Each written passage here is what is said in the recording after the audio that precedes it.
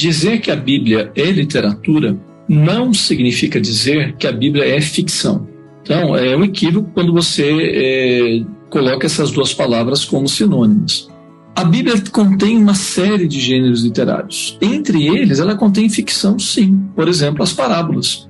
A parábola é uma ficção, é uma história inventada, se a gente quiser né, usar um termo bem, é, bem inteligível. Né? É, a Bíblia contém poesia.